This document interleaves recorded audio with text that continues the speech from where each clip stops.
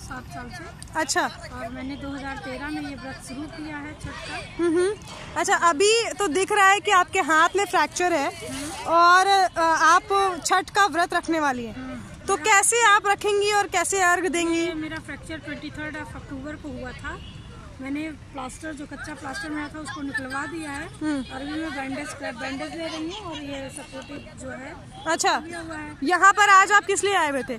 आज मैं बेदी बनाने के लिए छठ माता की बेदी बनाने आज आप बेदी बनवाने के लिए आए थे। तो लेकिन आपके प्लास्टर है तो आप इसमें किस तरीके का इनका योगदान करेंगे? हम पूरा सहयोग कर रहे हैं क्योंकि मैडम को थोड़ा सा हाथ में उतना सपोर्ट नहीं हो पा रहा है। हाँ हाँ। इसलिए जो भी हो सकता है। तो अर्घ आप साथ में देंगे इनके? साथ में देंगे पूरा हम सहयोग करेंगे। अच्छा। क्योंकि छठ माता के प्रति हम लोग का बहुत श्रद्धा भावना है और बड़ी आस्था के साथ हम लोग करते हैं और पिछले छह सात सालों से करते आ रहे चालीस साल से मेरी मदर कर रही थी। बचपन मेरा छठ माता के पूजा में ही बीता है।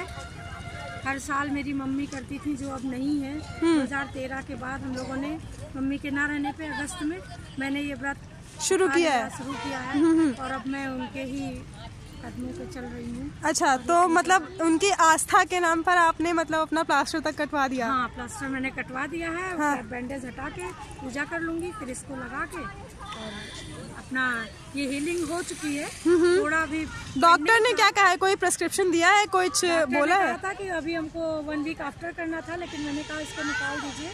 अभी क्रैप बैंडेज से काम चल सकता है उन्होंने बताया मुझे। अच्छा नहीं नहीं तो उन्होंने कुछ बताया है आपको कि किस तरीके से आपको आपने सहेजना है कुछ? हाँ उन्होंने कहा है कि पॉइस्चर है इसका जो मेरे हाथ का वो मुझे कायम रखना है बीच बीच में मैं खोल सकती हूँ इसको। अच्छा। तो पूजा के लिए उन्होंने मुझे परमिशन दे दिया था कि मैंने बताया था कि मुझे छठ की पूजा करनी है। तो उन्होंने कहा था ठीक है आप उस टाइम पे इसको निकाल दीजिएगा और जब आपका पूजा हो जाएगा फिर आप इसको लगा लीजिएगा और अभी दो हफ़्ते तक आप इसका प्रिकॉशन लेना है।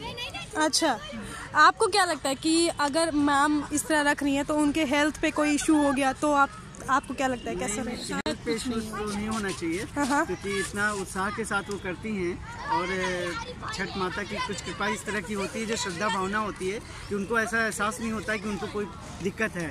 और बहुत ही श्रद्धा से करती हैं खुद आकर के इन्होंने बेदी बनाया और यहाँ पर ही उस श्रद्धा भावना से उसकी पूरी सफ़ाई करके और उससे बहुत ही मतलब आस्था के साथ करती हैं। उससे लगता है कि इस छठ माता की कृपा हम लोगों के ऊपर रहती है। बच्चों के उज्जवल भविष्य के लिए अच्छा। हस्बैंड की अच्छी सेहत और लंबी आयु के लिए।